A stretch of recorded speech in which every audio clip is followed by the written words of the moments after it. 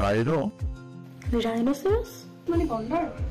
এটা দিয়ে টু এর কাজ করে নাকি থ্রি শুধু কি কমপ্লেক্স জিওমেট্রি নিয়ে কাজ করে নাকি সিম্পল জিওমেট্রি নিয়েও কাজ করে? এটা শেখা কি অনেক কঠিন। এটা কি অনেক ভারী সফটওয়্যার আমার ল্যাপটপে চলবে? এটা কি শুধু প্রফেশনালি ইউজ করতে পারবে নাকি একাডেমিকও লাগবে? আমার তো নো এনপিসি আমি কি ইউজ করতে পারব? আমি তো অটোক্যাড ইউজ করি আমি তো স্কেচআপ ইউজ করি আমার কি রাইনো শেখা উচিত? রাইনো থেকে ওয়ার্কিং ড্রয়িং করা যায়।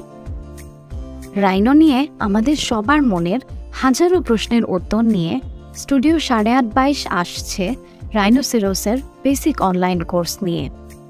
এই কোর্সে আমরা রাইনো টুডি থেকে শুরু করে থ্রি ডি এমনকি ওয়ার্কিং ড্রয়িংয়ের খুঁটিনাটি একদম প্রাথমিক লেভেলে হাতে কলমে শিখব। সুতরাং দেরি না করে এক্ষুনি উল্লেখিত লিঙ্কে গিয়ে রেজিস্ট্রেশন করুন এবং আপনার সিটটি নিশ্চিত করুন